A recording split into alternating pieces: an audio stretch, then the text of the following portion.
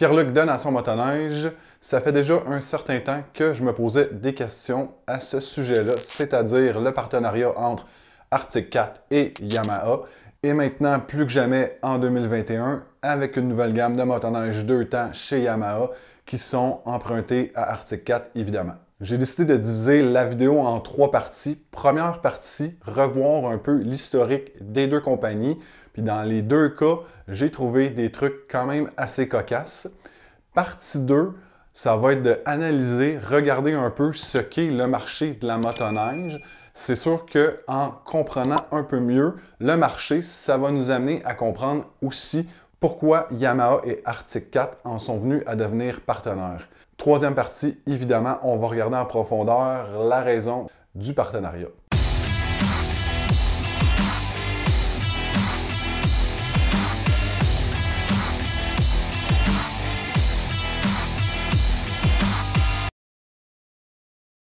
Commençons par Arctic 4 qui a été fondé en 1960 par un type qui s'appelle Edgar Ettin.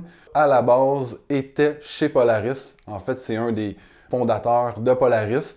Pour une raison que j'ignore, il a décidé de partir de son propre côté. Le gars est certainement un génie pour ce qui est de la mécanique, de l'ingénierie et de l'inventivité.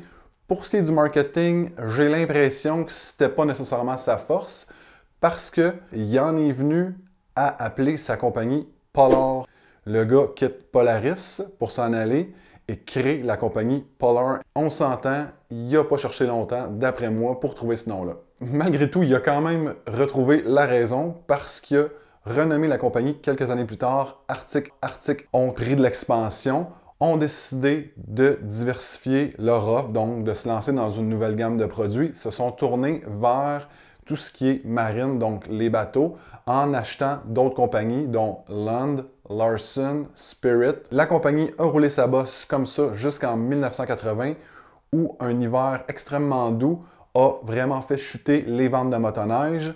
Et en plus, une surproduction de motoneige a amené des gros problèmes financiers à l'entreprise. À partir de là, ils ont décidé de se départir de tout ce qui est la branche marine de la compagnie. Ça n'a pas été suffisant, donc en 1982, faillite.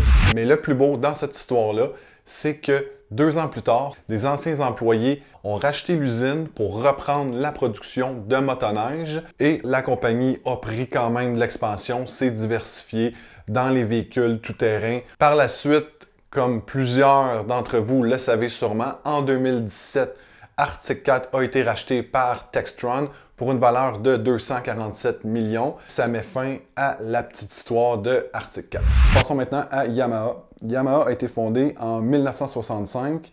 Puis la façon qu'ils ont commencé, c'est assez improbable.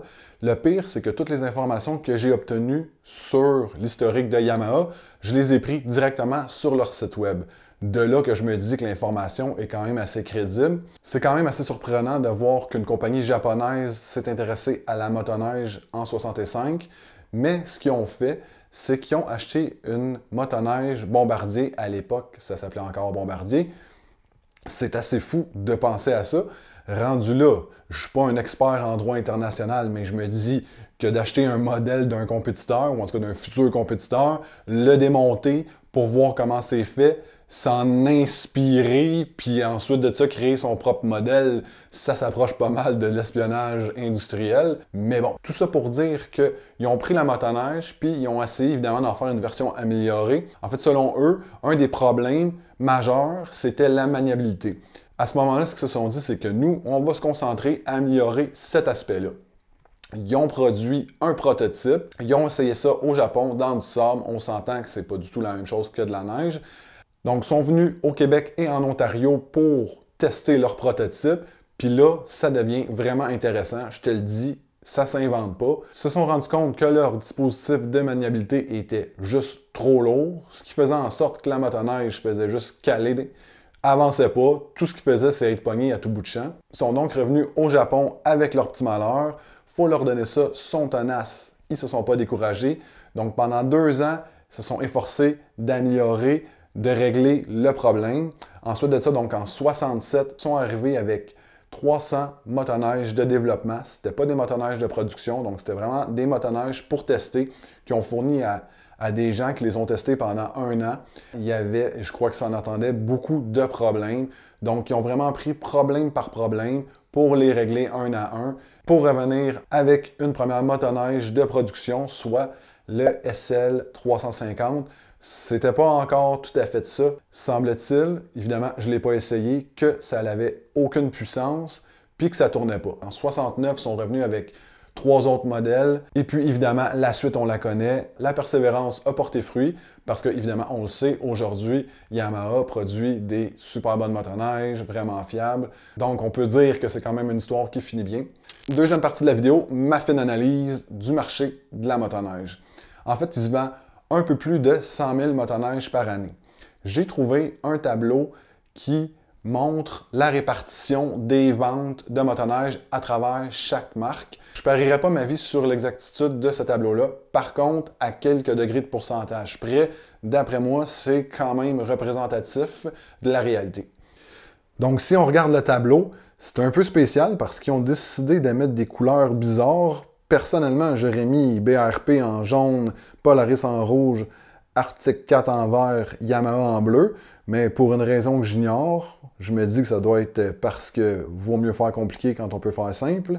Ils ont décidé de mettre Polaris en jaune, Skidoo en rouge, Yamaha en mauve bleu foncé, puis Arctic 4 en bleu.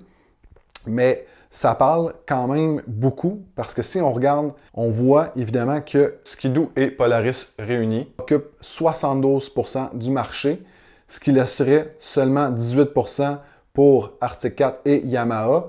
Puis si on prend juste Yamaha, qui ont seulement 4% du marché, on s'entend que ça fait quand même pas beaucoup de motoneiges vendus par année. Et si on prend donc le fait qu'il y a environ 100 000 motoneiges qui sont vendus par année, puis qu'on prendrait le 4% de Yamaha, donc 4% de 100 000, c'est 4 000 motoneiges seulement vendus par année.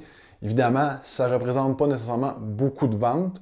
En plus, pour ce qui est de Yamaha et Arctic 4, ce qu'il faut comprendre, c'est que les dealers sont restés avec des modèles des années antérieures qui ne sont pas vendus.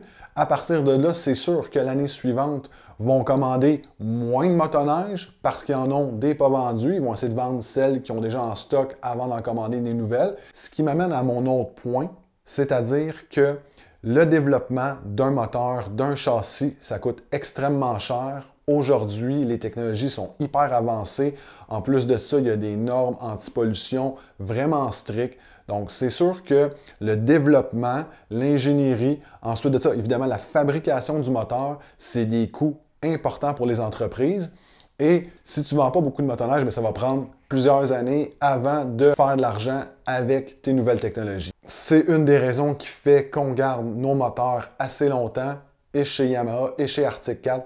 Ce qui m'amène à la troisième partie du vidéo, évidemment le partenariat, ce qui semble être l'option la plus logique dans le cas de Arctic 4 et Yamaha pour compétitionner avec Skidoo et Polaris qui occupent et de loin les plus hautes marches du podium du marché la plus haute, la plus haute marge du podium du marché. C'était un peu bizarre comme formulation de phrase, mais en tout cas, on comprend. Tout ça pour dire que pour suivre la parade et pour continuer à faire du développement, les deux compagnies, évidemment, ont fait le choix de s'associer, ce qui est selon moi pas une mauvaise idée. Bref, ce qui nous amène évidemment au retour des motoneiges deux temps chez Yamaha pour 2021. Faut pas se leurrer, ça reste des motoneiges Arctic 4 avec les couleurs de Yamaha et quelques légères différences. Ça permet à Yamaha de revenir dans le marché de la motoneige deux temps et d'essayer d'aller prendre une part du marché en pleine expansion qu'est la motoneige de montagne avec le Mountain Max. En conclusion, évidemment, avec la conjoncture actuelle et l'état du marché de la motoneige, je suis persuadé que Yamaha et Arctic 4 vont continuer leur partenariat pour encore plusieurs années. Et je me permets une prédiction, c'est qu'on va avoir des nouveautés, possiblement un nouveau châssis, un nouveau moteur qui va être partagé entre les deux compagnies. Et voilà, je crois qu'on a fait pas mal le tour de la question. J'espère énormément que cette vidéo-là a été instructive. J'espère aussi que ça a été un peu divertissant. Je t'invite évidemment à aller voir les autres vidéos de ma chaîne. En plus, tu t'es rendu jusqu'à la fin de la vidéo. Merci pour ça. Ciao!